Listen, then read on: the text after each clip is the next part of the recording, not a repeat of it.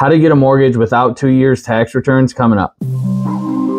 Hey guys, I'm Adam Lesner, and my oxygen is getting borrowers approved for a mortgage when other lenders say that it's just not possible. Today, we're diving straight into how to get approved without providing two years of tax returns. We have six options that we're going to dive into, so let's just jump right into it. Hey guys, a quick favor before we get started, if you could please subscribe so that we can help more people every single week. Thanks so much. Let's jump right into it. When applying for a mortgage, lenders typically require two years of tax returns as proof of income and employment. This standard requirement can make it difficult for certain borrowers to qualify, such as self employed individuals, those with gaps in employment, or those who haven't filed tax returns for past two years. If you find yourself in a situation where you cannot provide the standard two years of tax returns, don't lose hope. There are still options available to help you secure a mortgage. Here's what you need to know about getting a mortgage without having to provide two years of tax returns. Traditional mortgage without two years of tax returns. I'm going to be crystal clear. If you're not self employed or work for family or have rental properties, you don't need to provide tax returns to get a mortgage if you're a W 2 employee. The problem is most lenders require tax returns by default. The result is many borrowers are denied by those lenders unnecessarily due to the write offs or years not filed. If you're a W 2 employee looking to get approved without tax returns, we're more than happy to help. But if you have a more of a unique income situation, let's dive into the options available for you now. Alternative documentation for getting a mortgage without two years of tax returns. Lender's main concern is verifying that you have a stable and sufficient income or assets to make your mortgage payments. If you cannot provide tax returns, you'll need to provide alternative documentation to prove your ability to repay the loan. This route is most commonly used by business owners and real estate investors. Let's look at the different options available. Bank statement loan. With a bank statement loan, you do not provide any tax returns. This is a great option if you're self employed or a private contractor. You'll provide 12 to 24 months of personal or business statements as proof of income.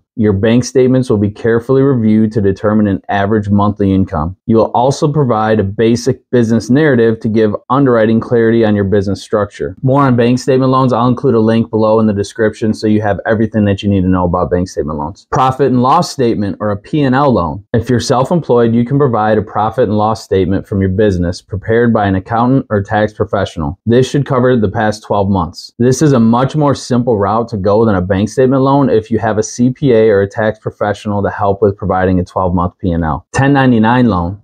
For freelancers or independent contractors, you can provide 1099s from your clients or employers to document your income. Asset depletion loan. If you have significant assets such as investment or retirement accounts, these accounts can be used to determine your ability to repay the loan. For this product, you do not list any employer or income source on your application. The income piece of the mortgage approval is based on your liquid assets. DSCR Investor Cash Flow Loan. For real estate investors, DSCR loans use the rental income from your investment properties as the primary income source. Your ability to repay the loan is based on the fair market rent on the property. These are allowed on long term rentals as well as short term vacation rentals. When the appraisal is ordered, there'll be a 1007 rent schedule where the appraiser will give an opinion of fair market rent. Even if the property is in a negative cash flow position, or vacant, there still are options available. Seek professional assistance. Navigating the mortgage process without tax returns can be complex, so it's wise to seek assistance from a knowledgeable mortgage professional. An experienced loan officer can help guide you through the process, advise you on the best loan options for your situation, and help you gather the necessary documentation. In summary, here are the best six options available if you're looking to get approved for a mortgage without providing two years of tax returns. Traditional mortgage for W 2 employees employees, bank statement loan for business owners and private contractors, profit and loss loan for business owners, 1099 loan for private contractors, asset depletion loan for high net worth individuals, and DSCR loans for real estate investors. While getting a mortgage without tax returns is certainly possible, it requires more effort and preparation. By understanding traditional mortgage options, exploring alternative income documentation options, and seeking professional assistance, you can improve your chances of securing a mortgage despite your unique financial situation. Thanks, guys. Appreciate you stopping by. I hope that was helpful. As always, please, please, please feel free to drop a comment below with any questions that you have, anything that I didn't cover. If this video was helpful at all, please give it a thumbs up and subscribe so we can help more people every single week. Thanks, guys. We'll see you next time.